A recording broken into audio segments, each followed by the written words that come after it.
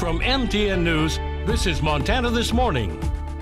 I'm Cassidy Powers here at the Bozeman Public Safety Center, and stay tuned because I'm talking to local law enforcement about how they take no days off, not even Labor Day.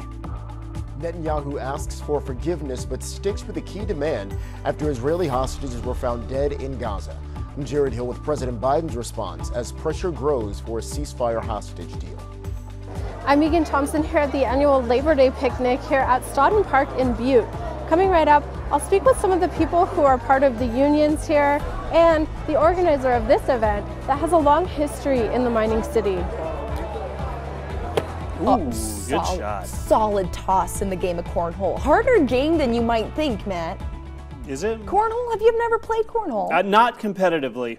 Well, I don't competitively do it either, I don't but know. I Yeah, get I competitive. think it's fun. and I get competitive when I, I think do it's it. fun. I just stink at it. I'm not the too problem. good. I need. We should set up a thing in. Okay, that we'll talk about that later. Eh, don't tell management. No, we'll just set up a little game in They here. won't know what's going on. No, they're fine. They don't need to know. Well, We used to have weather-wise, KBZK and KXLF. On it. yes. Oh, we get John Amy involved. There we Oh, go. Oh, it could be dangerous. Weather-wise, not a bad day for cornhole, but maybe cornhole inside, like we're talking about. Uh, I think it depends on the time. Yeah. Uh, the afternoon, we are looking at the potential some thunder showers. The morning temperatures are great. 50s and 60s, a little warmer than we like to see at this point, but I don't think our temperatures are going to warm up dramatically. We have had a few light rain showers trying to work their way across the area, really not much to those. Isolated thunder showers initially, and then we'll see a little more widespread potential as you get into the afternoon. A few of those will pack uh, heavy rain and the potential some gusty winds. And again, that's early to mid part of the afternoon, may linger into the evening in some cases. But man, it is gorgeous out this morning. We're going to talk more about what your day holds for you in the weather world. That's coming up in just a few minutes. All right, thank you very much, Matt. Well, a 36 year old Arkansas woman is dead after a crash on Saturday afternoon just outside of Anaconda. According to the Montana Highway Patrol, the woman was driving eastbound on Montana Highway 48 when she lost control of the vehicle on a right hand curve near mile marker 2. The car then slid and overturned, eventually stopping about 30 yards away. The woman was transported to Community Hospital of Anaconda, where she later died. MHP believes that speed and drugs were a factor in the crash. The woman's identity has not yet been released. And COVID 19 cases have gone up over the summer in Gallatin County. And our Megan Elaine spoke with a Walmart pharmacist to see how they have started testing and treating the community as COVID numbers spike and cold season is fast approaching. Recently, Walmarts across Montana have rolled out new patient testing and treatment. But what does this mean specifically for Gallatin County?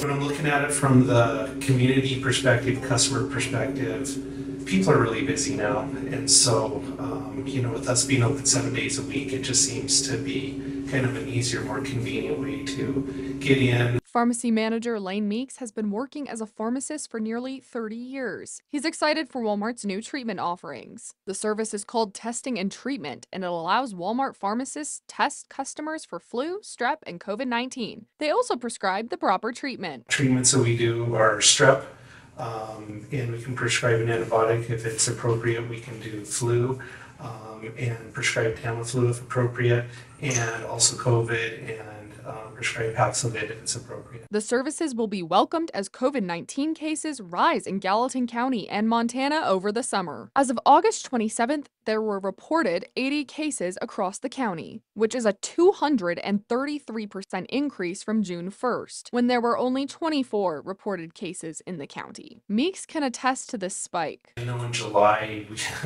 we were inundated. It seems like, just in my experience, it seems like it's getting better than when uh, in July seemed to be quite a peak.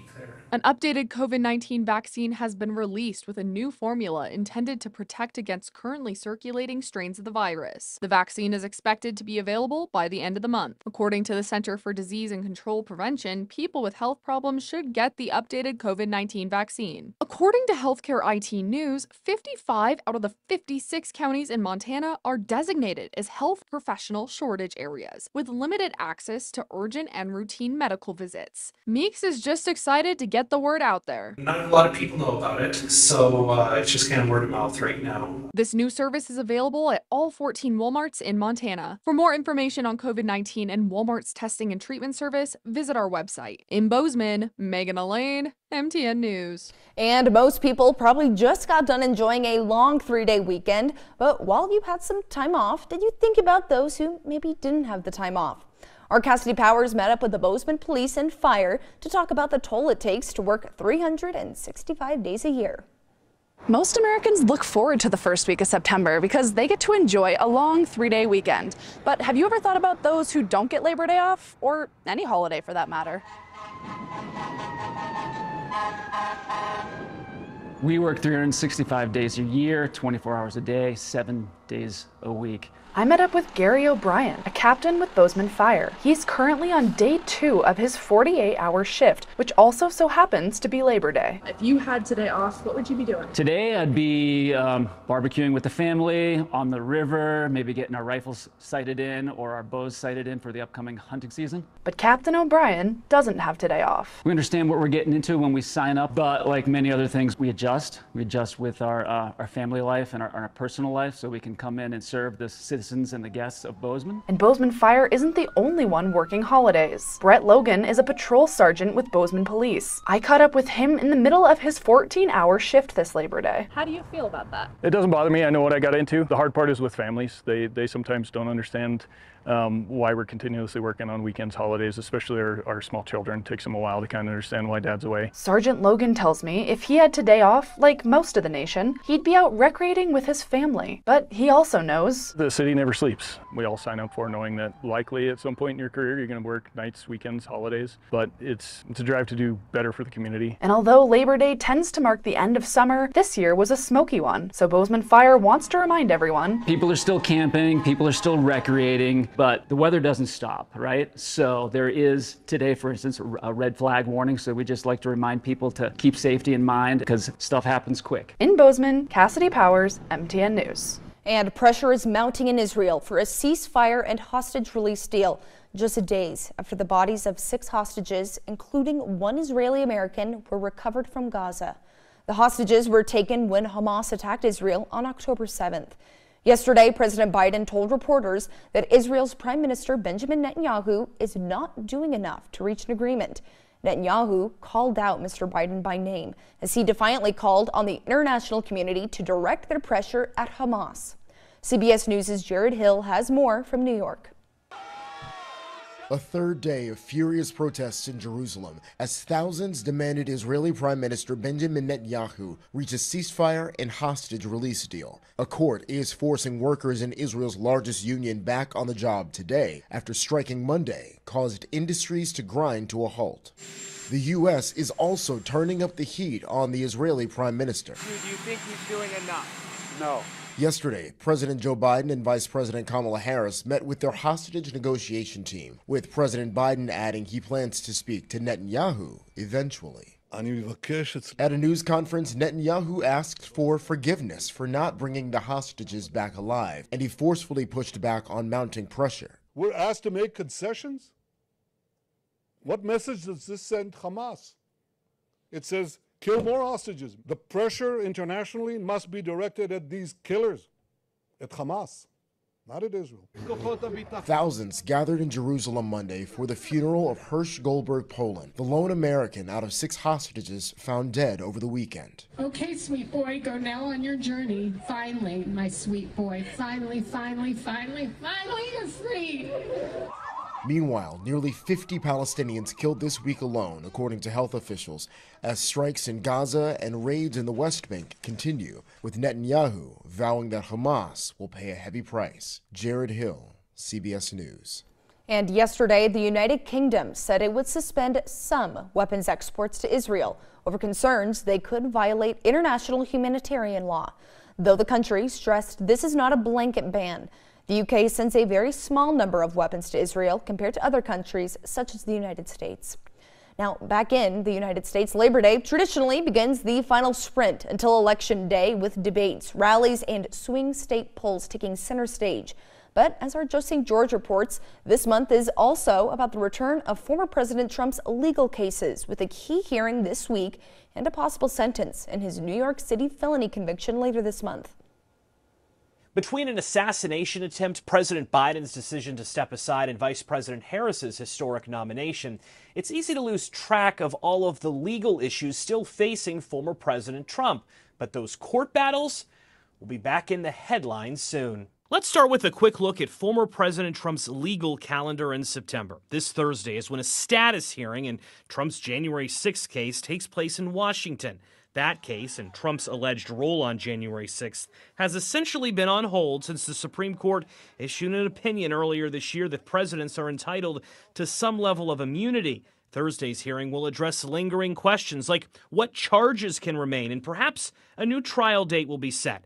Ava-joye Burnett is Scripps News' legal affairs correspondent and will cover the hearing. It will now be up to that judge to determine how this case could potentially move forward. They will have the burden to figure out what is covered under presidential immunity and what is not covered. If the case moves forward and Trump loses this election, it could potentially put the former president in another precarious legal position next year. If Trump wins in November, though, if former President Donald Trump actually wins, it's very likely that he will tell whoever he appoints at the DOJ to get rid of this case altogether Let's move the calendar to September 16th. That is when we expect the New York City judge overseeing Trump's felony convictions to rule whether those convictions can still stand in the wake of that Supreme Court immunity ruling. But first, an even bigger ruling may occur. Last week, Trump's legal team made a new request to move the entire case to federal court. The court on Friday rejected that on technical grounds. Another request is expected soon. It's a much stronger case now than it was last year when he tried to remove it because the Supreme Court has said that there is this sort of you know, protection. If Trump loses that request and Judge Juan Merchan says the conviction stands, then all eyes will be on September 18th when Trump is scheduled to be sentenced. The maximum for any felony is one and a third to four years um, in state prison. The minimum is, is nothing. There's no mandatory minimum. In the past, court appearances by the former president have rallied his base. Time will tell if that will happen again, so close to Election Day. Joe St. George, Scripps News, Washington. And Butte's labor unions carry a long tradition of celebrating the achievements of the middle class workers across America with the annual Labor Day picnic.